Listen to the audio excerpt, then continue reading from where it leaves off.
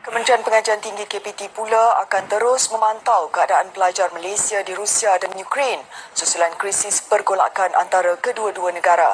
Menurut satu kenyataan yang dikongsi di Facebook, seorang pelajar Malaysia yang berada di Universiti Lviv, Ukraine berada dalam keadaan selamat ketika ini. Pelajar itu dibawa ke kedutaan Malaysia di Warsaw, Poland bersama rakyat Malaysia yang lain. Mereka akan dibawa pulang ke tanah air dalam waktu terdekat. Dalam pada itu, bagi pelajar yang berada di Rusia, mereka akan kekal berada di universiti masing-masing berikutan jarak antara universiti dan kawasan bergolak agak jauh. Pihak kementerian melalui Pejabat Education Malaysia di London EML akan terus memantau perkembangan terkini konflik sekaligus memastikan keselamatan pelajar terjaga. KPT turut menasihatkan pelajar serta ibu bapa yang mempunyai sebarang pertanyaan berhubung perkara ini untuk terus hubungi talian yang tertera.